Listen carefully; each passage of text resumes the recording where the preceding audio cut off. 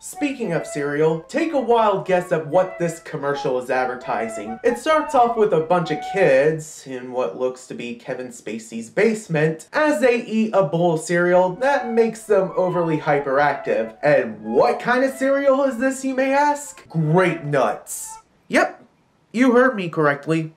The only cereal that made all of the children hyperactive is Grape Nuts. Where do I even start?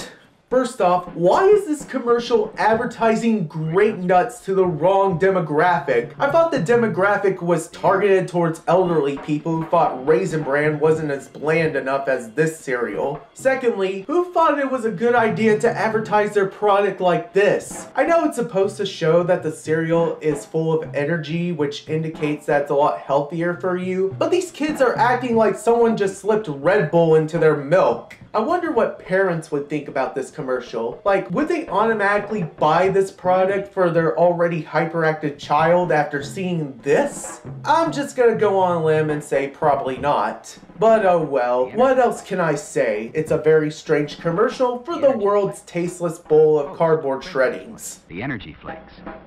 Post Grape Nuts Flakes.